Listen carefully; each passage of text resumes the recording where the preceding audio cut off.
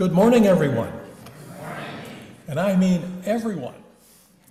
And we have lots of people online as well, so good morning to all of you who are joining us in our worship service. Just a few brief announcements. Um, this is the first Sunday of the month, and it is our Communion Sunday. So, for those of you who are visitors and guests, the way we usually do it is Marie and I will stand down there with the bread and the juice, and we invite you to come and receive the elements. So a line forms down the center aisle. Or if you prefer, there are cups in the back. You can take communion in your pew um, as well. So um, this morning we have very we have many guests, but a very special guest. Uh, Thomas Harley is here. He brought his mom this morning, Stephanie. Um, I, th- I, think maybe she wants to make sure that he's behaving himself this morning, so we're glad to have her here. Their entire family play hockey, even Stephanie. So we have a female hockey player in our midst as well. But Thomas right now is the only one who's playing in the National Hockey League. So um, they were um, my parishioners at Rockefeller a number of years ago, and very glad to have uh, them here this morning.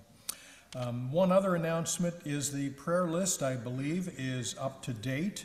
And we did get word from Ann Crocker, who is online with us this morning, uh, wanting us to pass along uh, thanks to you for uh, the cards and the notes that you have sent her following her surgery and her rehab.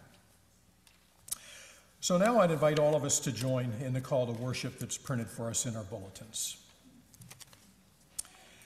Let us seek the Lord so that he may be found.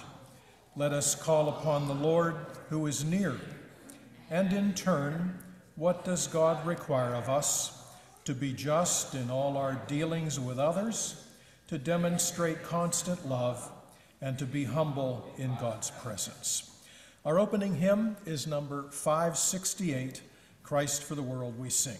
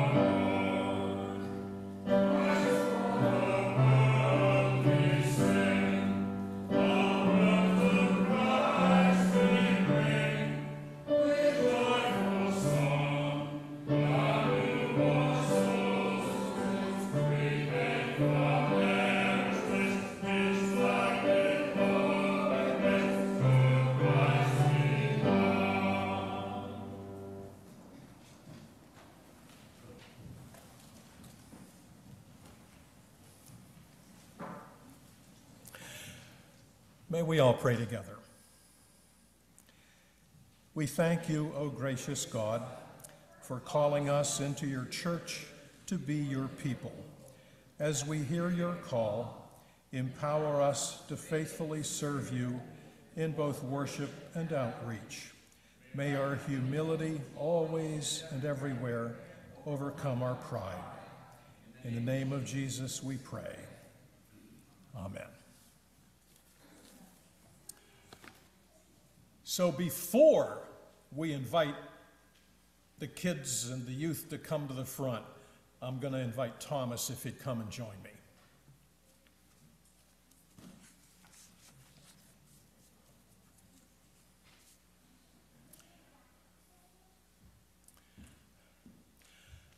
I first met Thomas when he was like this. He would come to the front as part of our children's time. There is that infamous story, that urban legend about the time that we did a skit with David and Goliath, and Thomas, little Thomas was David, who slayed Goliath, who was the biggest parishioner we had in our congregation. So now he towers over me. And uh, he was here last year, and we asked for some questions from the audience. Problem is, nobody wants to ask the first question. So it was a little bit awkward. So, Thomas, we got the questions ahead of time this time. So, before we have the kids come up, here's the adult participation in children's time. What is the most exciting arena in which to play other than your home ice in Dallas? Um, Vegas is pretty cool. They get that place rocking. Um, and then Edmonton this past year in playoffs, it was the loudest I've ever heard. I could be yelling at Pastor John right in his face. He couldn't hear me, so it was pretty cool. So, Las Vegas. Do you keep in touch with your teammates during the off season? Yeah, um, you know, we're just friends like any other people. You FaceTime them, see what they're doing, uh, play around golf with them. Nothing crazy. A related question Do your teammates have a nickname for you, and if so, what is it? Uh, hockey players are not the most creative people. Um, so my nickname is Harles. Uh, in the past, though, I have got T-Bone. That's the best one. Does your body ever grow weary because of travel, practices, and games? Very much so, yes. How many miles do you think you skate per game? Uh, they actually track it. Um, so it's a big game would be like three and a half, four miles up and down the ice. Four miles of, of skating. This one is my question. Oh boy. I want to be your team chaplain. Can you make that happen? I don't think I have enough pull for that one just yet. Only after one year, probably not. But, but, but keep that in mind because I don't need to stay here forever. And probably right now, they wouldn't allow me that much time to come back and forth to Dallas anyway. So now we're going to invite all the kids and the youth to come to the front and probably just seat themselves in this area here. So come on up.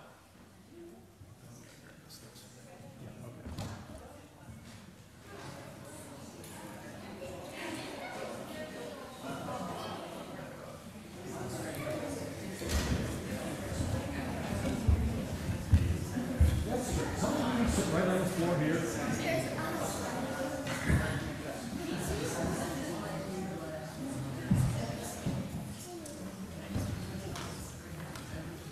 Now, Isabel and Trevor and Josh are well beyond children's time, but we're making an exception this morning.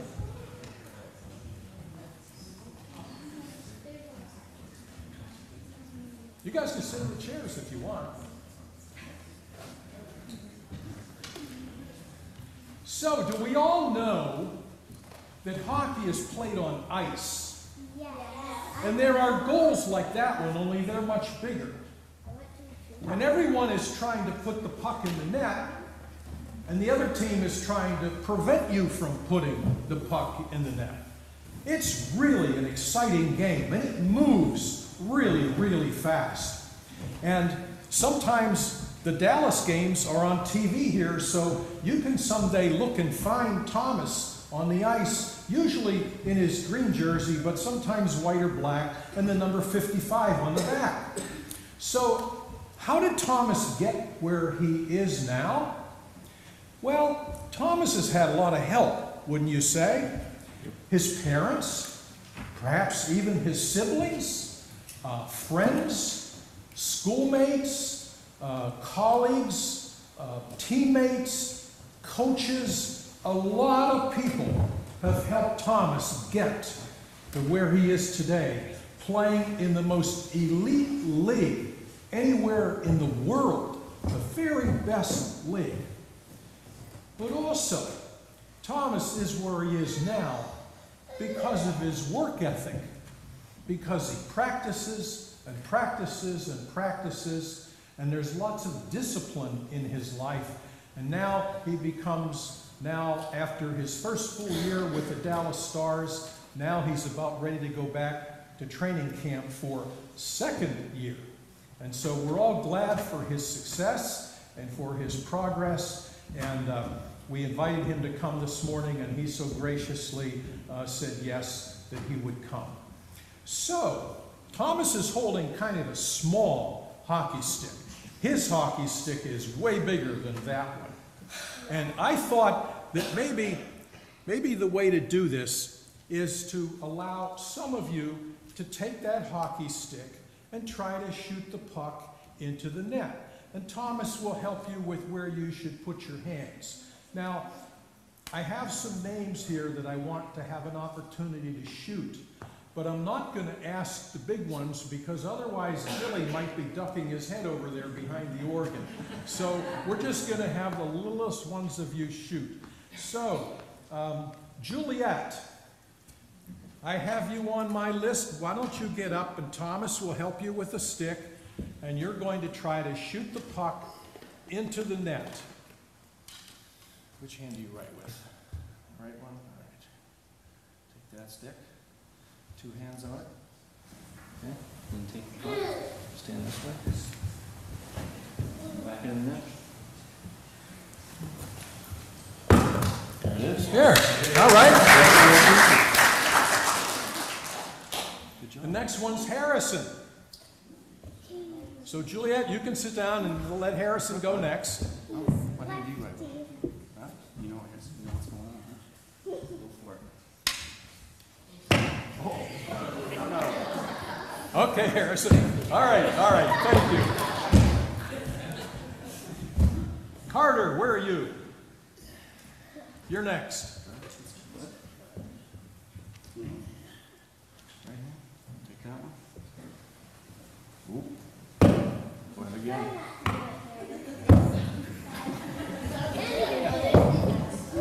Not so easy, not so easy. And Clara.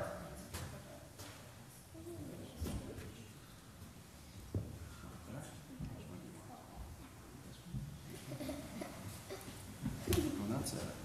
Put another one here. There you go. Now, because we're in church, we don't have a siren or a horn when the puck goes in the net.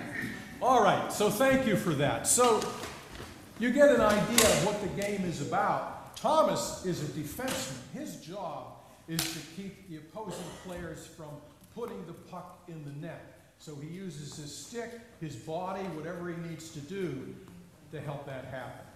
So, what we have done is we have t shirts for most of you, and on the back is Thomas's name and his number.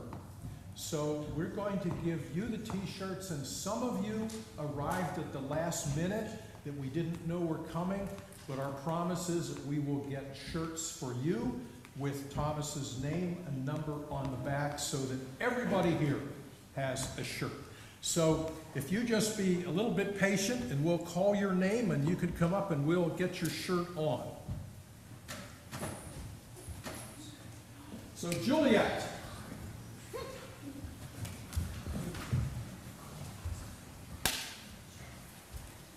Harrison's next.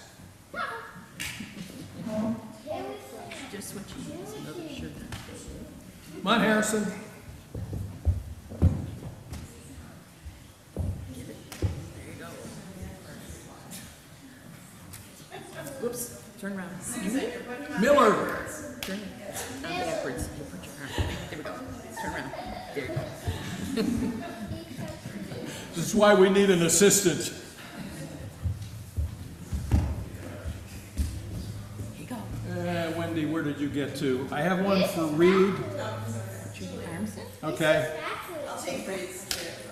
Okay. There you go. Here's the other one. Yeah, Juliet, flip There your you shirt go. around. You're all set. Oh yeah, you got it on backwards. Thomas's name goes on the back. Okay, Clara? And we have one for Alexandra.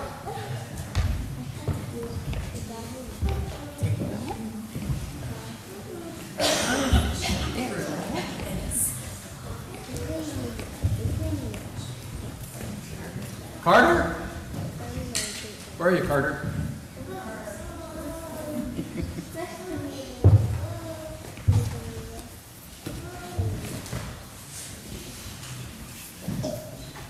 There you go. Willa?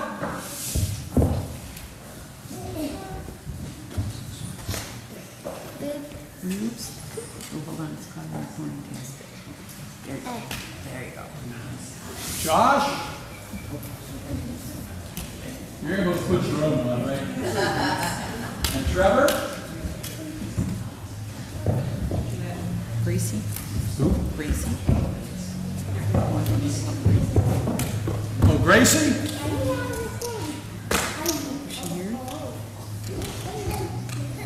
Is Gracie around? I don't see her. No, Gra- Gracie isn't here this morning, uh, but we have Isabel. Brian? You want to come up front with these guys, Brian?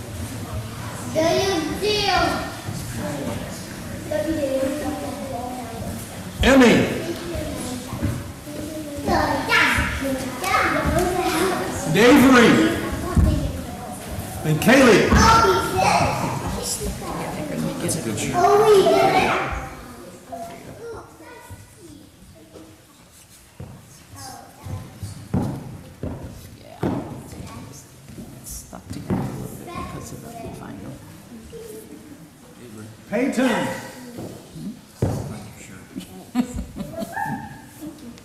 and Austin.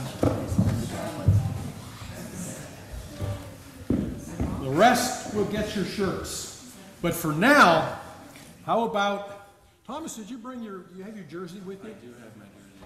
It's back there. Am I putting it up? Okay, Mom will bring it up. Yep. So what we wanted to do was take a picture with everybody wearing their shirt. We want to take a picture with everybody facing that way, and then a picture with everybody turned around.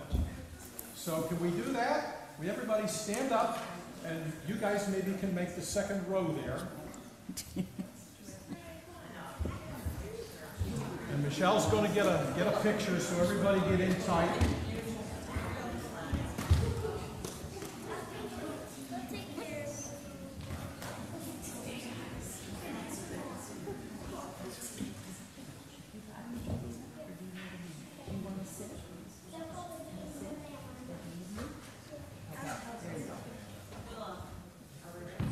You okay?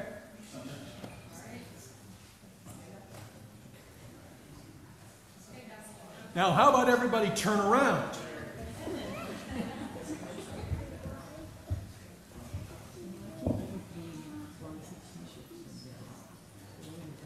Okay, thank you. Well, we now have the newest chapter of the Thomas Harley Fan Club. So, thank you all for coming, and thank you, Thomas.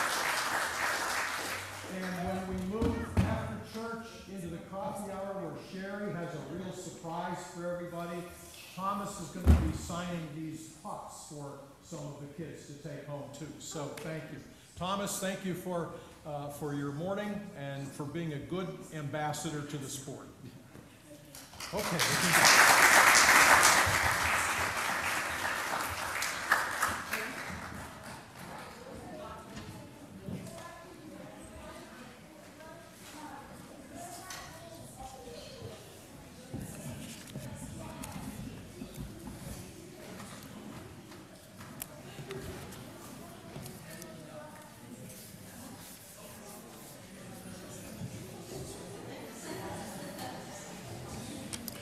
And John, this is by no means a solo this morning, is it?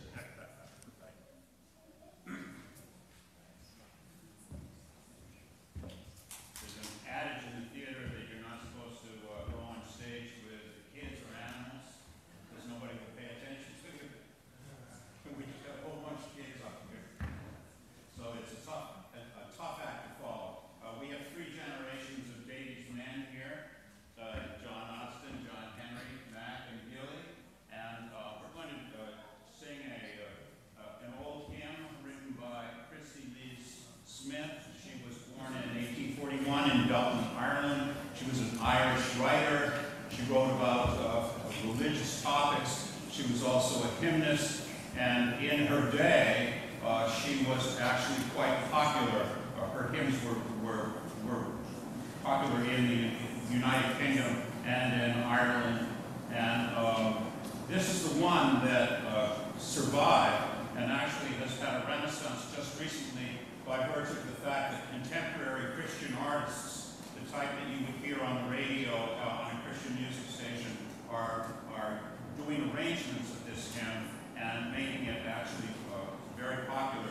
With the reason where uh, we have all these fancy uh, folders today is that we sang this hymn, how many Sundays ago was it? Was it four now?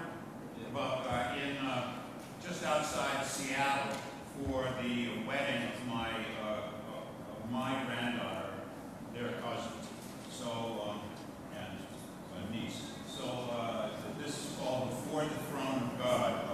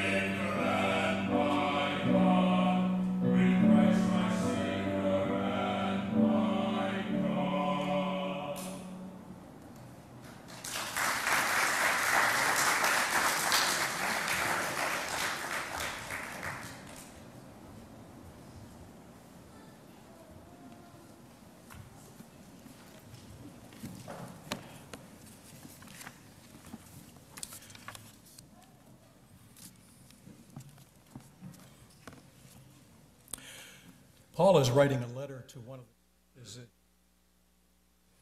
this was the church in the city of Corinth and he's talking about his preaching and about his journeys as a missionary and then he closes this ninth chapter with these words.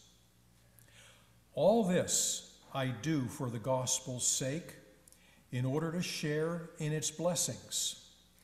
Surely you know that many runners take part in a race, but only one of them wins the prize. Run then in such a way as to win the prize. Every athlete in training submits to strict discipline in order to be crowned with a wreath that will not last. But we do it for one that will last forever. That is why I run straight for the finish line. That is why I am like a boxer who does not waste his punches. I harden my body with blows and bring it under complete control to keep myself from being disqualified after having called others to the contest. Let's prepare to pray together.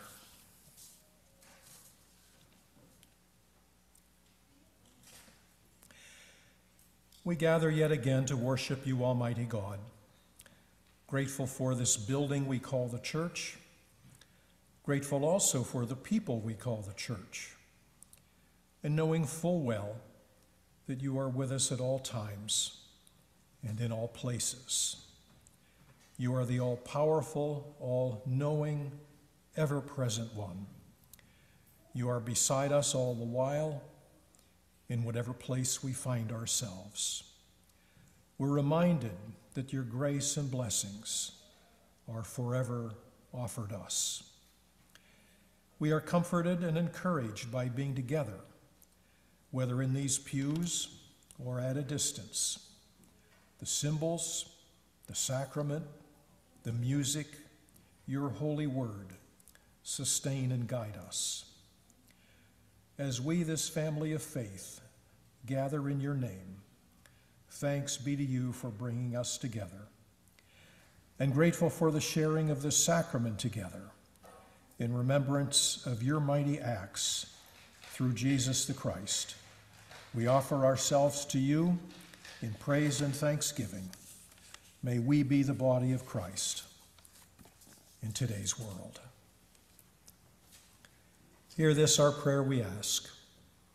And now hear us as we pray together silently.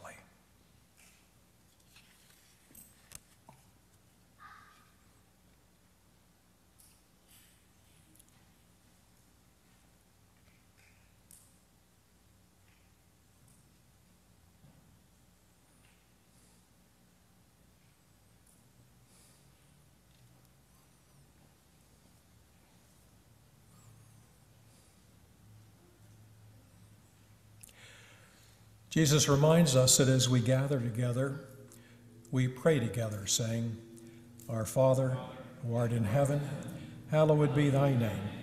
Thy kingdom come, thy will be done, on earth as it is in heaven. Give us this day our daily bread, and forgive us our trespasses, as we forgive those who trespass against us. And lead us not into temptation, but deliver us from evil. For thine is the kingdom and the power and the glory forever. Amen. We'll now receive our morning offering.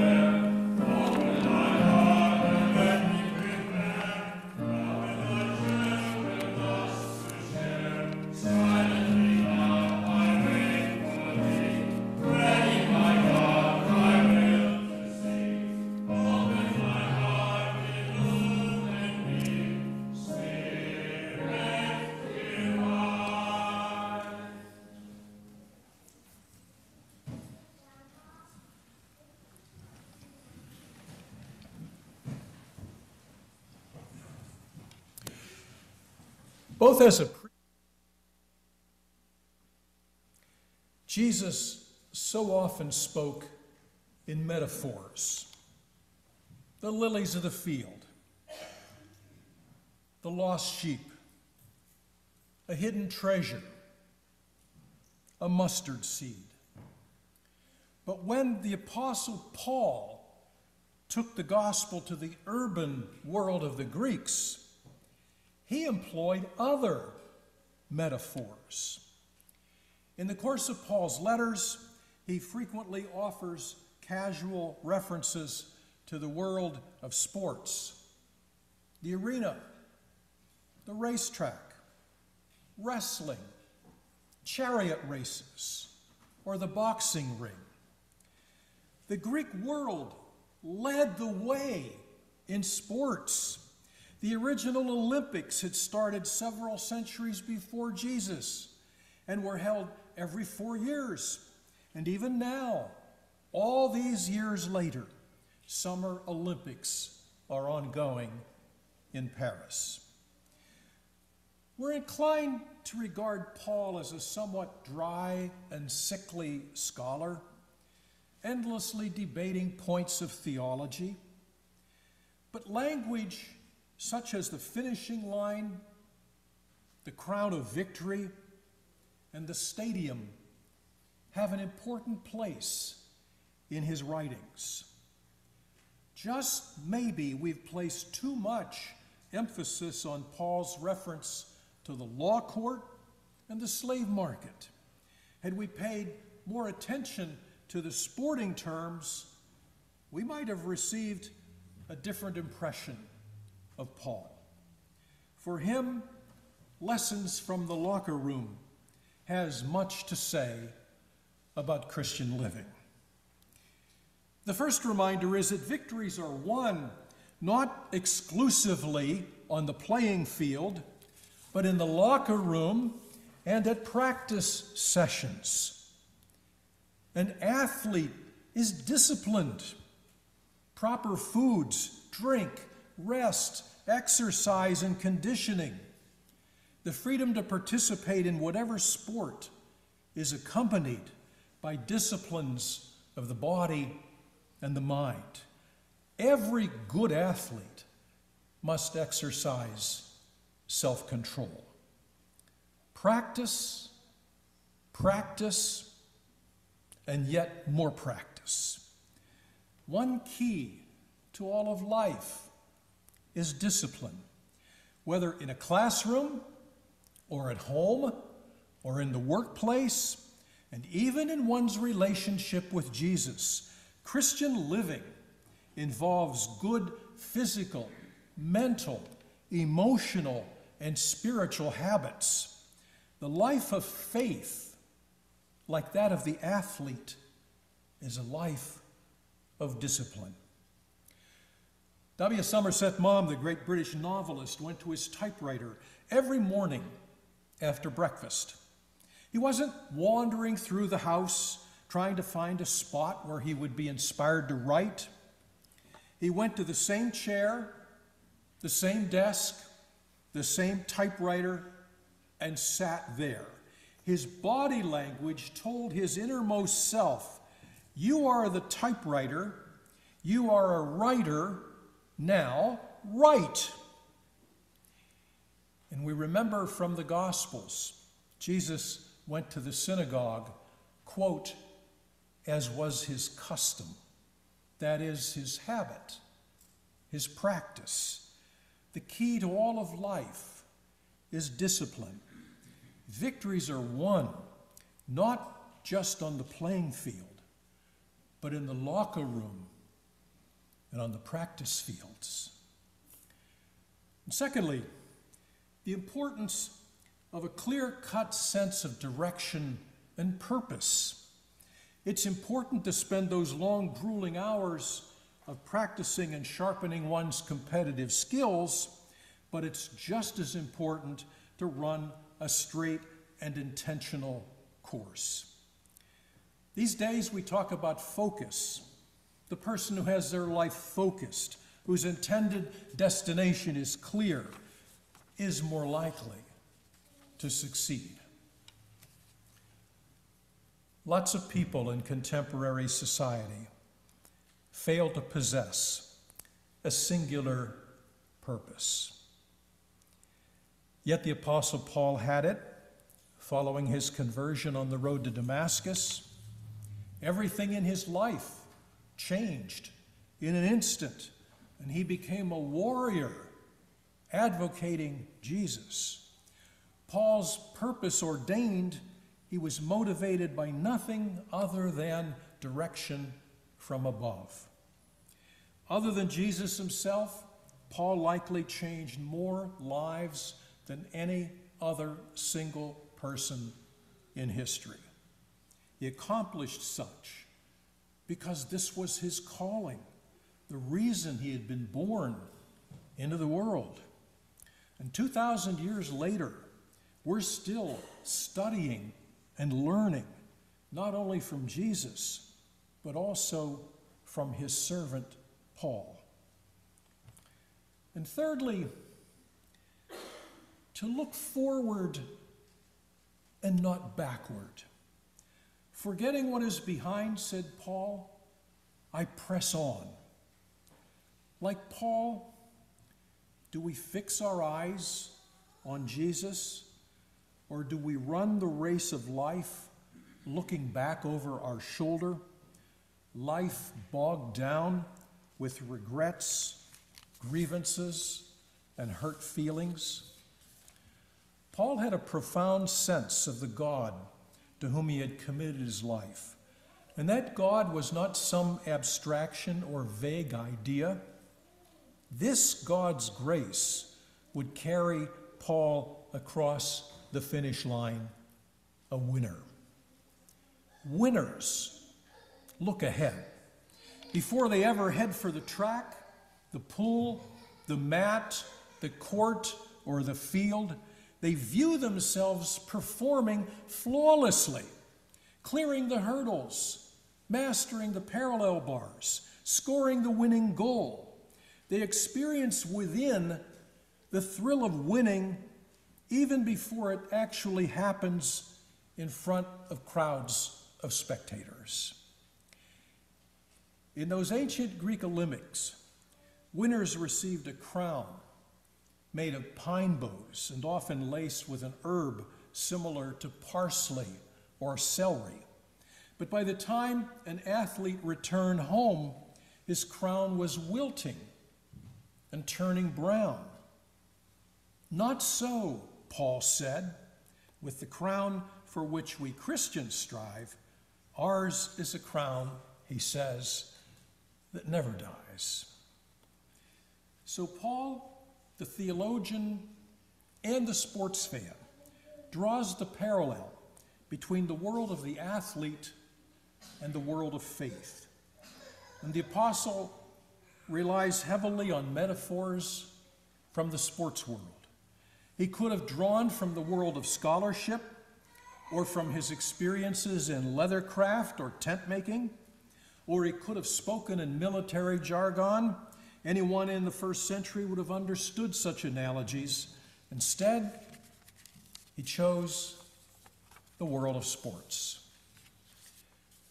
So, just like the athlete, as part of our greater Christian community, we remember to commit ourselves to a life of discipline. We remember to focus on a direction that is clear cut. And we remember to run our race with our attention directed to what's ahead. Let's pray together.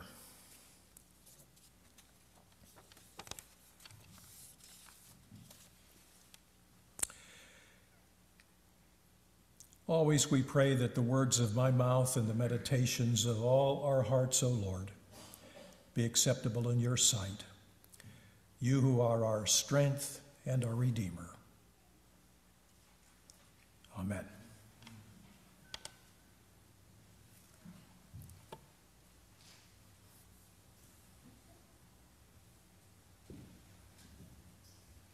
I'd invite all of us to turn in our bulletins to the words of preparation.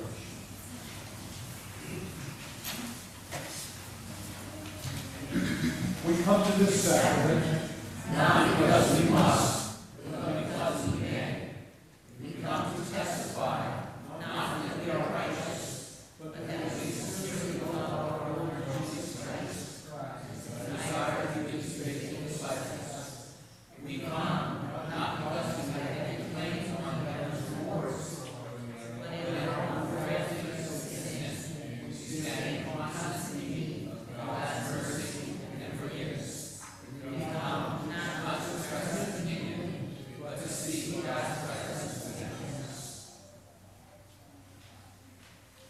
And so, yet again, O God, we offer our thanksgiving for the gift that Jesus offered himself on the cross. That we might be spared that pain, that suffering, that ordeal. He gave himself in love on our behalf. And so, as we receive the bread and the juice this morning, Help us to be reminded and help us to be thankful for that very gracious gift upon each of our lives. And it is in His name that we pray together. Amen. Amen.